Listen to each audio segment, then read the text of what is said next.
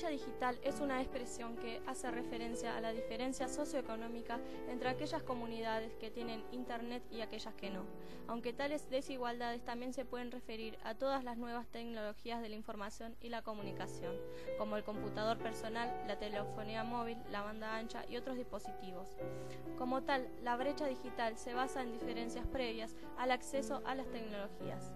Este término también hace referencia a las diferencias que hay entre grupos según su capacidad para utilizar las TIC de forma eficaz debido a los distintos niveles de alfabetización y capacidad tecnológica.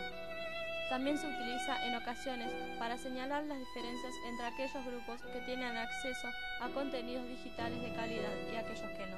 El término opuesto que se emplea con más frecuencia es el de inclusión digital.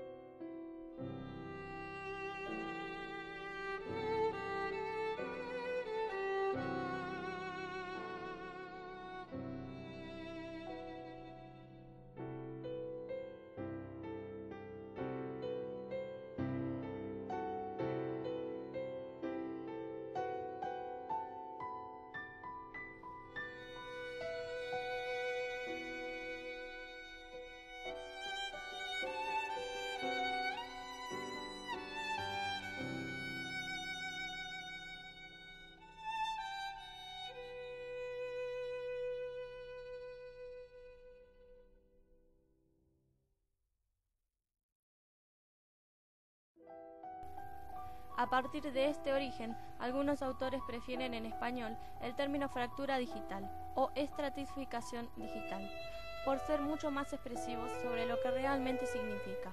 La traducción a otras lenguas latinas, como el francés, también ha optado por el término de fractura. No obstante, la mayoría de los autores hispanos se decanta por el de brecha, más suave y políticamente correcto. Algunas otras expresiones que han sido usadas para referirse a la brecha digital son divisoria digital, brecha inforcomunicacional y abismo digital.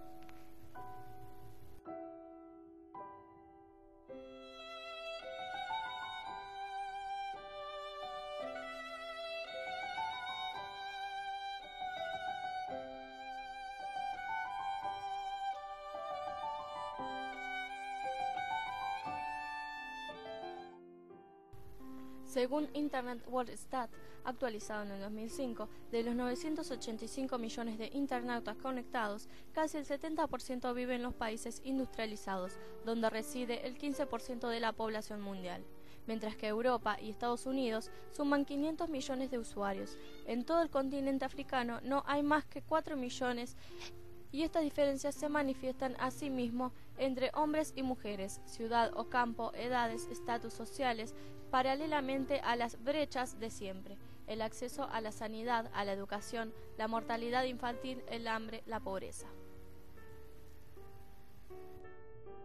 Datos de 2006 de la Unión Internacional de Telecomunicaciones muestran que mientras el 58,6% de los habitantes de los países desarrollados tienen acceso a Internet, en los países en vías de desarrollo apenas el 10,2% de los habitantes tiene acceso a esta tecnología. Estrategias para disminuir la brecha digital. Una manera de disminuir la brecha digital es implantar políticas de accesibilidad web para que todas las personas, independientemente de sus limitaciones físicas o de las derivadas de su entorno, puedan usar de forma satisfactoria Internet y la World Wide Web.